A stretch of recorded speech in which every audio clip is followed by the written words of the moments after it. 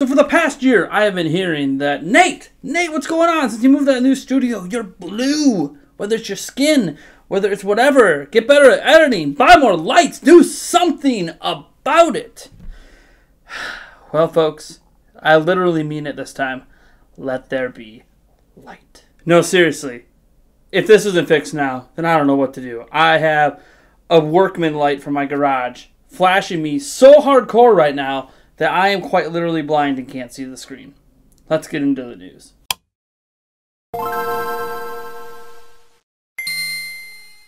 Hey everyone, welcome back to Prime News, and our first story deals with Nintendo's game vouchers. Now, they announced this uh, about a month or two ago that they were going to be doing these $99 game vouchers that let you buy two games digitally uh, that are either out already or coming out in the future. Breath of the Wild, as an example, is one from the past. In the future, would be something like Luigi's Mansion 3. And so, what you the whole point of the vouchers, I guess, to buy digitally isn't to maybe buy Breath of the Wild, which you can actually find cheaper on Amazon physically, but it would be for something like Fire Emblem Three Houses that just came out.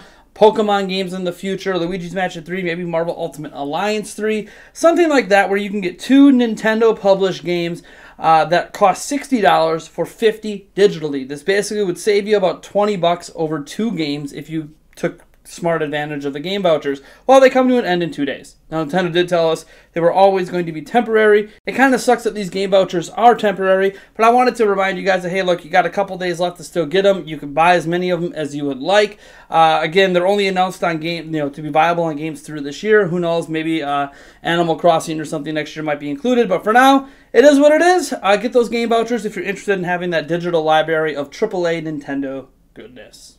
New Super's Lucky Tale is coming to Nintendo Switch. We actually knew about this back during E3, and Eric and I both got to go hands on with the game. And needless to say, it's very good with a ton of improvements over the original experience. But it's not just improvements. As one of the developers that was there was talking to us, it's actually a new game. It is not the same Super Lucky Tale you got to play over on Xbox and PC. This is a brand new experience purpose built for Nintendo Switch. In fact, the name of it, New Super Lucky Tale, New Super's Lucky Tale, uh, that came from Nintendo. They didn't know what to name it. They were talking to Nintendo. Nintendo's like, hey, why not throw new on the front? I mean, Nintendo does that all the time. As I said, don't be surprised if a Switch Pro comes someday and it's just called a new Nintendo Switch. I mean, new 3DS, new. Anyways, we know how Nintendo does things. So the name for this game came from Nintendo in the first place, and honestly, it's a really great experience if you enjoy uh, those old school N64 type 3D platformers like Mario 64, Banjo Kazooie. Yes, we've had Yooka-Laylee. This is another game in that style. However, just like a, a, a single character, not like the dual character stuff like Yooka-Laylee is. And it's really, really good from what I played lots of collectibles, all that stuff. It's a lot of fun to play. It's a treat, honestly. If you enjoyed the original Super Lucky's Tale, you're going to enjoy this one. And uh, if you're looking for a new uh, experience in this world, maybe uh, a semi sequel, a 1.5, a 2.0, whatever, this is that as well. It's really, really fun. And uh, yeah, I'll just put a link down in the description if you're interested in pre-ordering it because it's it's good. It, it's just a good game. Sega's Mega Drive Mini, which was slated to come out on September 19th, has now been delayed to October Fourth, this is just because, well, they need more time to get enough of them made and, and do it right. They don't want to rush the launch of this and maybe end up with a PlayStation Classic thing where it just kind of sucked. Impressions on the Mega Drive Mini coming out of E3 because it was playable there is that it's actually pretty good. And it's got a great lineup of games. And uh, we're really only mentioning it even though it's Sega because, hey, look everyone's copying this Nintendo classic thing. Although I guess Sega's been doing it for a while, just with like AT-AT games, and, and like those people make really crappy versions of the Sega system. So I don't know. We'll have to wait and see how this turns out once it's actually public and not just demo units. But from what I experienced at E3, it was pretty solid. Uh, the, the, emulation was pretty uh, pretty much there where you would expect it to be in 2019. So uh, again, it's been delayed to October 4th. If you've already pre-ordered it, uh, your pre-order will be uh, you know held and kept for the October 4th date. Uh, if there are some available to pre-order, I'll put links down in the description if they're not sold out. I'm guessing they're probably sold out for launch, but but uh, who knows? I mean, it, NES Classic and SNES Classic were more popular platforms than like the Mega Drive, Sega Genesis. So uh, just something to consider. But there's a lot of great games on it that have never been on Nintendo platforms before. So uh, hey, why not check it out uh, this holiday if you happen to see one on store shelves? Tomorrow there is a Super Smash Bros. Ultimate presentation for Hero. Uh, this was announced by the Nintendo Versus Twitter account, which is the official uh, competition Twitter account uh, for Nintendo. And they're basically doing a Nintendo Direct style gameplay demo esque presentation tomorrow for Super Smash Bros. Ultimate at 8 a.m. Central Standard Time. I'm hoping to live stream it, although no promises right now. That being said, uh, it'll be 22 minutes long and it's going to be all about Hero and it's going to include the release date for Hero. But we might already know what that release date is because a deleted tweet from Nintendo of Europe kind of did an oopsie. There is a major Smash Bros. update, according to the tweet, which you're seeing on screen right now, uh, coming on the 31st. And that update likely includes Hero. So it would make a lot of sense. They're announced it tomorrow, comes out the next day, same day as a major Smash update. That update's been deleted off of Twitter, which means whoops, we weren't supposed to say that yet. We should have waited till tomorrow. So uh, yeah, it's probably coming in two days. Uh, not a surprise. It was supposed to be a summer DLC as is. This also means now that we basically know when Hero is coming, uh, that we can now start to ask, hey, when are we getting Banjo Kazooie? When's that coming this fall? We don't know, but uh, that's next. So that's when I'm finally buying that fighter pass is uh, when Banjo Kazooie gets a release date. So we now have some Fire Emblem Three Houses launch numbers. Well, for the UK, this will probably be an ongoing story this week as information comes in from the NPD data, or we get information in uh, from Japan, which usually comes out on Wednesdays. Uh, but for the UK, Fire Emblem Three Houses is not only the number one selling game for the week, that's not really a big surprise. It's how many units it sold. Now, we don't get exact figures, but we do get comparison data.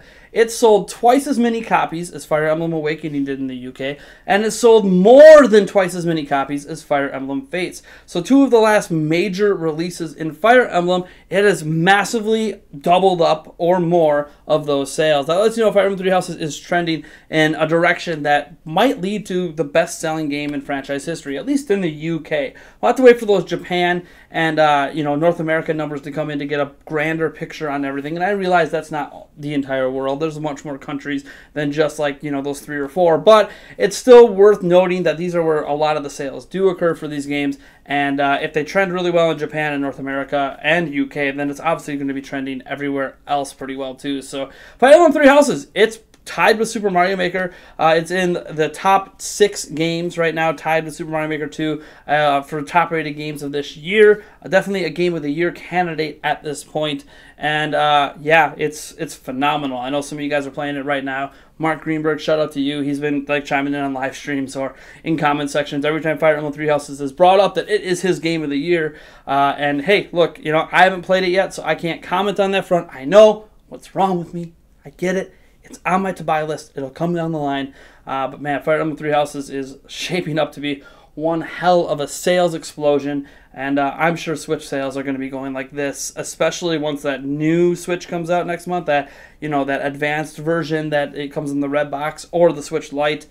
I the Switch is blowing up this year. I wouldn't be surprised if we're at 50 plus million units sold uh, by the end of this fiscal year. I mean, maybe we'll be at 60. Maybe I'm underselling. I actually think Nintendo's projections for this year are, are under based on this lineup the rest of the year, but we'll have to wait and see. On Friday, when we didn't have a Prime News, and I'm sorry about that, I was spending all day editing the Nintendo Prime podcast, which, hello, shout out to Nintendo Prime podcast. Go check it out up here. Seriously, uh, HMK was on. It was a great podcast. We have a new co host. It's awesome. I put a lot of effort into it. I hope you enjoy. That being said, Doom. Uh, Bethesda announced on Friday that Doom 1, 2, and 3 are coming to Switch, PlayStation 4, Xbox, PC, etc. It was a big shadow drop during QuakeCon, which kind of got leaked beforehand, but it got leaked the same day, so it's not too bad. Uh, and they're priced very respectably. One issue that propped up right away, especially with Doom 1 and 2 on Switch, is that it required a Bethesda.net login. That means that Doom 1 and 2, anyways, required you access the internet to play single player you know games. That that didn't make much sense. And bethesda did tweet out in response. It took them 24 hours because of course it did uh, but it, bethesda did tweet out in response that they are aware of it this was not supposed to be how it worked and they are working on a fix which i'm not sure if it's applied as of yet because i don't have the games if it is applied let me know down in the comments uh, but it's supposed to be a fix where it's only optional they only meant that login to be optional, not required to play. Uh, as for why would you want to log in, I guess they have rewards tied to the account if you log in with it and stuff like that. It's a reward system, kind of like the My Nintendo program, My Nintendo Rewards. So uh, there you go. It is uh, supposed to be optional. It will be optional in the future. But that's not the end of the Doom news. Oh no, because Doom 64 was rated by the PEGI board for PEGI 16. And the big thing about that is Doom 64 was not actually announced at QuakeCon as coming out anytime soon. So this could be another shadow drop coming later this year. Uh, now it's only listed for PC and PlayStation 4. However, that does not discount Switch, which would be weird since Doom 64 came out on the Nintendo 64, hence the name. Uh, but what it is is Doom 1 and 2 were both listed by the PEGI board uh, before the announcement last Friday as only being for PC and PlayStation 4, despite the fact that they had not come out, at least on PlayStation 4's front. Obviously, the old school original versions have been on PC for some time, and well, they ended up coming to Switch and Xbox anyways. So chances are it's just the same thing here. It's rated initially because uh, the copy or version of the games they have are PC and PlayStation 4, but it's going to come out on Switch and Xbox as well. Again, no release date on this. It's just something that hit the PEGI board. It's likely coming with the success of Doom 1, 2, and 3. Obviously, we have Doom Eternal coming out here, uh, I think in a couple months. Uh, it's, it's, coming soon. So, yeah, uh, be pretty excited. If you love Doom, this is truly the year of Doom. We're getting everything Doom in the same year. It's pretty crazy, and I, I couldn't be more excited. I grew up on Doom, man. Doom and Duke Nukem 64. That was my PC gaming childhood up until Age of Empires. So, Chris Niosi, or Noosi, I apologize if I butchered his name, has now been replaced by Zach Aguilar in Fire Emblem Three Houses and Fire Emblem Heroes uh, for voicing the character named Byleth. Now, the controversy surrounding this isn't something I want to dive too deep into. We did do a live stream about it and talked about it a bit, but uh, what what you need to know here is that Chris was accused of sexual assault, mental abuse, uh, and also for breaking NDA with Nintendo and other companies. Now, uh, the proof for the NDA stuff seemed to come from a Discord server, and I know that stuff can be faked, but anything can be faked. Uh, but he, the big thing, the reason why I think Nintendo probably went forward with it is that Chris himself put out a post on his Tumblr uh, with a whole bunch of public apologies to all of the women that he sexually or mentally abused, uh, and basically acknowledged that at least some of these allegations are true. He wasn't as sorry, maybe, as it felt like, as some felt like he should have been, but it, but beyond, it really doesn't matter. The point is, he copped up to some of it that means that uh, some of the allegations are true, and if some are true, then maybe all of them are true. And it does, at least to me, based on initial research, look like he did break NDA and revealing he was the voice of Byleth long before Nintendo had allowed voice actors to even talk about that with anyone. And it's not like he just told you know who he was dating; he was touting it on a Discord server, which is obviously much more public than just a private friend or family member that maybe you're telling, "Hey, look, I'm voicing this character." So uh, they have removed him. He has been replaced with Zach Aguilar. Uh, I have not seen an example of each voice clip side by side yet. I apologize. I've been really busy lately, so I'm not sure how it plays out. But maybe if I can find some side by side comparison clips, I'll throw it up. Otherwise, uh, you guys let me know if you like the new voice acting better than the old voice acting. Obviously, when it comes to voice acting, we want to support the people that uh, do it not only the best, but also do it uh, well as a as a human being. I, am not saying that what your personal life is should necessarily affect your work life, uh, but if it is you using your personal life for, or your work life for success in your personal life, uh, that is obviously something that is a big no-no uh, in many uh, you know groups out there, and there are so many voice actors struggling to even find gigs that there's plenty of just good faith voice actors out there. And uh, Zach Aguilar looks like another one. Uh, the voice acting team for Three Houses is generally fantastic. I've, I've heard a lot of it through cutscenes, and who boy did they do good. So uh, hey, look, Nintendo does know how to do voice acting, right? Uh, they just got to hire the right people. And now, uh, what's sad is that Chris actually voiced a character in Octopath Traveler, and I'm hoping that means in a sequel, if that same character's there, they use a different voice actor. I'm assuming that Chris's career is probably down in the dumps. Uh, but hey, you know, when you cop to mentally abusing um, and sexually abusing women, and uh, it looks like you're also breaking contract with the companies you're having contract with. I mean, you kind of brought it on yourself, man. And because I don't want to end on a negative note, I really hated that last story. Uh, we're going to talk a little bit about Arlo. Yes, Arlo, that fun-loving blue puppet. Uh, hi, Arlo. How's how's it going? Yeah, I know. Um, you're kind of uh, a thing that haunts my nightmares. uh, he actually put up a video recently talking about how Nintendo should remaster Paper Mario A Thousand Year Door. And well, he put up a hashtag for it, hashtag remaster thousand year door, and it actually went trending in the United States on Twitter. crazy. There was at one point over like 18,000, 20,000 uh, tweets about it. It's kind of died down a little bit since then because, of course, trending's always changing like on the hour on Twitter. Uh, but it was really cool to see that happen. Obviously, uh, a lot of Paper Mario fans are not happy with the direction Paper Mario has taken since. Obviously, the last game in Color Splash didn't really impress uh, some people. Sticker Star wasn't what people wanted. People were really longing for basically what you know the first two games in the series did, particularly A Thousand Year Door.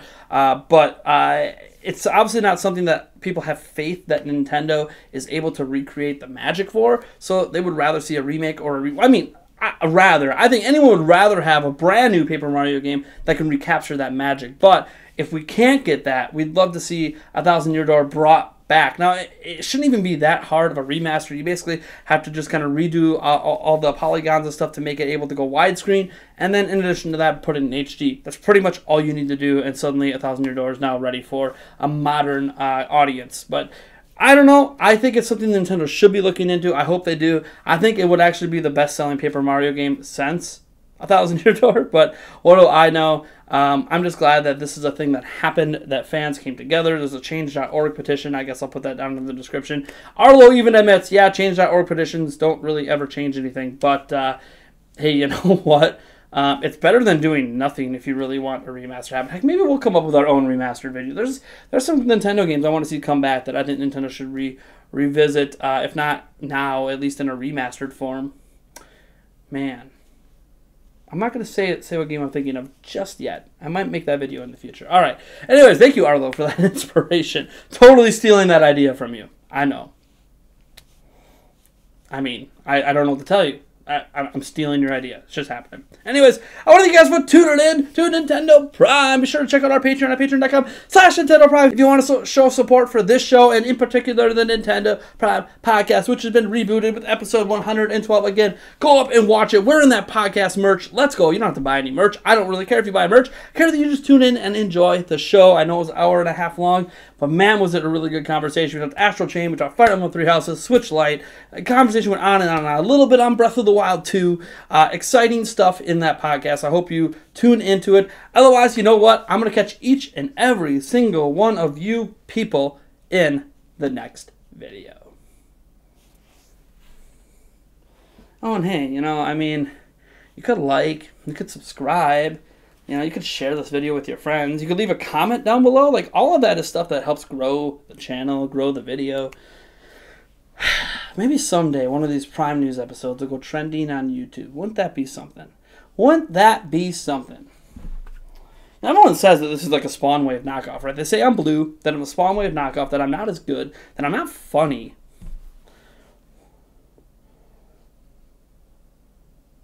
All I know is the SpawnWave. Do this! Or that! Or Jazzy!